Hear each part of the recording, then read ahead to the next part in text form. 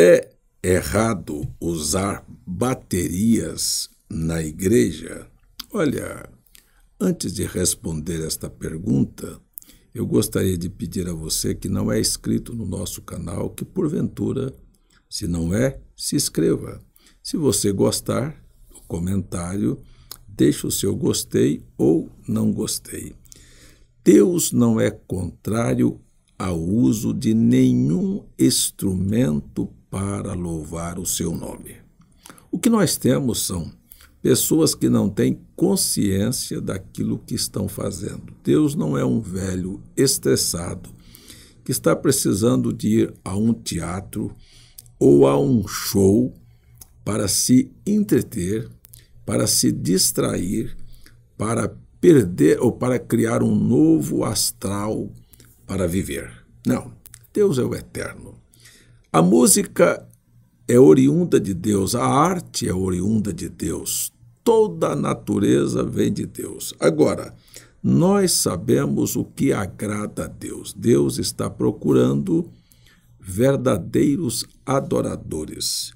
Então, esta, na verdade, é o significado da palavra Deus. Para o mundo literal, Deus é tudo aquilo que se adora. Nós adoramos a Deus em espírito e verdade. Este é o único Deus verdadeiro. O resto é simplesmente imitação. Sua casa, seu carro, tudo pode se tornar um Deus para você. Sua igreja, seu pastor, sua religião. Mas Deus quer verdadeiros adoradores. Então, quando temos instrumentos da igreja, seja violão, seja guitarra, seja órgão, seja bateria, precisa ser conscientizados músicos que cada vez que ele manusear aquele instrumento, ele está louvando a Deus.